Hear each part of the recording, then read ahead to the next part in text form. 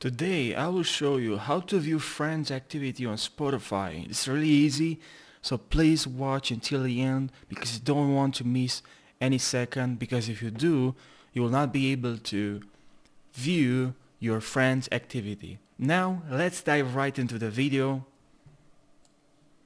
Now what you need to do is to open Spotify application Right here we have a tab, Friends Activity.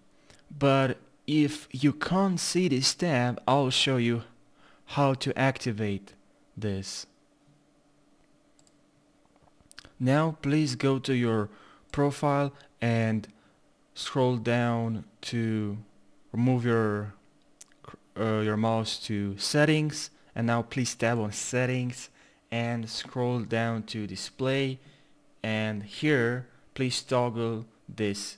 See what your friends are playing. Please toggle this. See what your friends are playing. Here I don't see my friends activity.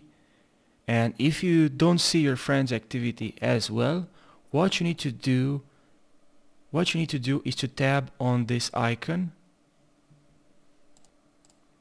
so if you want to see what your what music your friends are listening, you really you need to connect with your Facebook.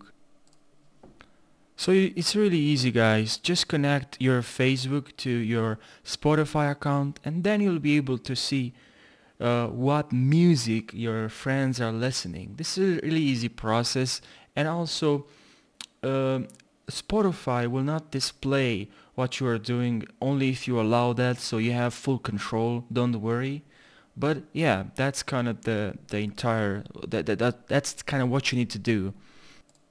So that's the end of the video guys. This is how you can view uh, friends activity on Spotify. I hope this video helps you and provided you with a great solution for this problem. If it did please like this video and take care guys and see you in the next video